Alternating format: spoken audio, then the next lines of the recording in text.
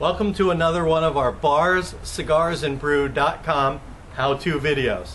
Today we're going to work on a fiberglass three foot pirate statue.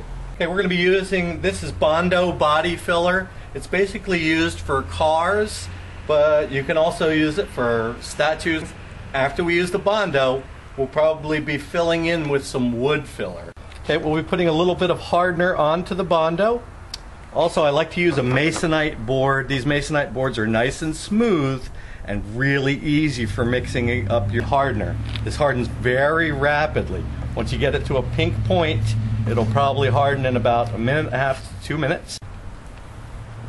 And I will stick a, a bunch of gunky Bondo right inside here. In general, you usually don't need Bondo. You can usually have wood filler, but this is a big project because it's a broken foot. So it really needs a, quite a bit more support.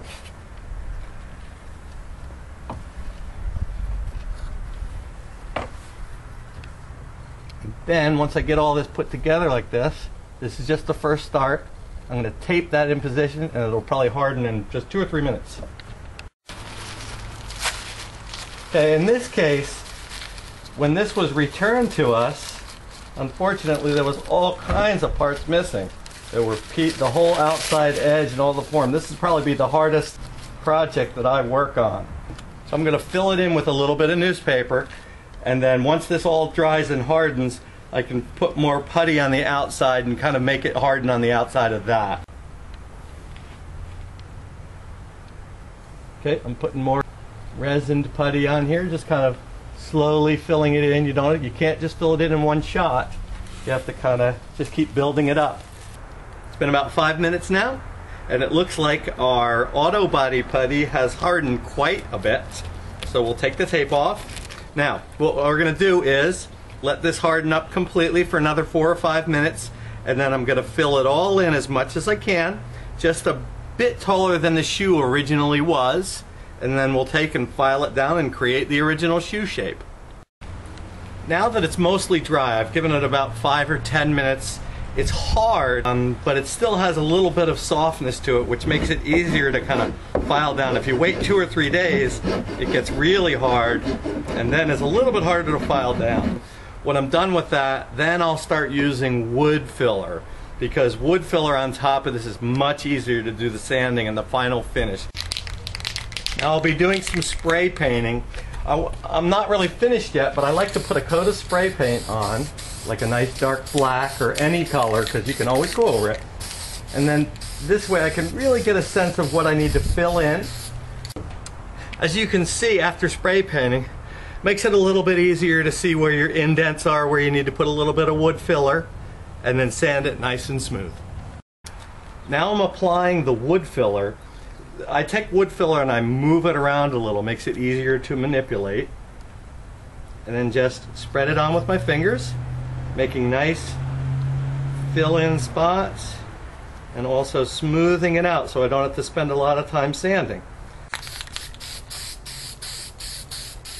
Putting a little more spray paint on to see my low and high spots. Here at Bars, Cigars, and Brew.com, we've decided to put together a kit to help folks repair these fiberglass statues. The kit includes a satin lacquer spray cans, there's uh, wood filler, there's sandpaper, there's a bit of instructions inside, and a whole bunch of different tubes of colored paint. And we'll show you how some of this stuff works. Okay, taking some of these simple latex paints, trying to get a color that's pretty close. Don't worry, you can always do it over if it doesn't match. Our final process will be spraying on a satin lacquer finish. This makes the item look like, even if it's a bit rough, it makes it look like this is how it was weighed because there's a finish on it. And it finishes off your whole project really nice and even. Well, that does it for fixing up our fiberglass statues. If this has been helpful to you, please stop by bars, cigars, and brew.com.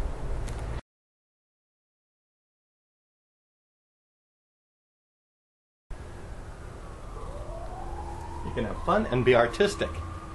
I feel like Bob Ross. Remember him?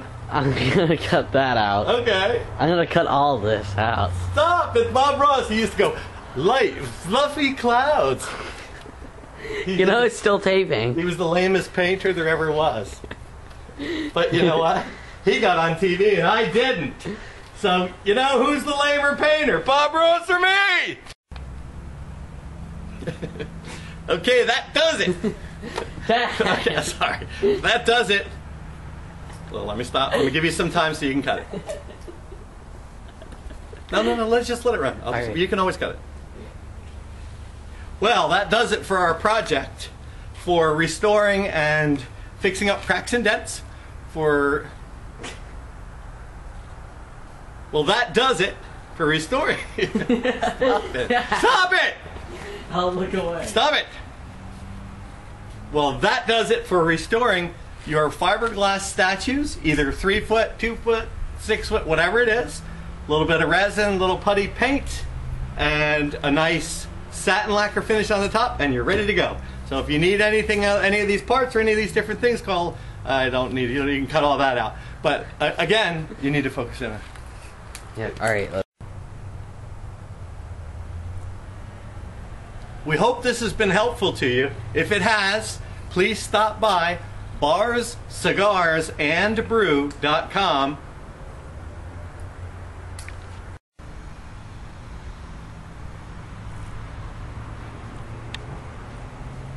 We, we, what? do- Oh, you were pulling away. I was didn't pulling away. You didn't tell me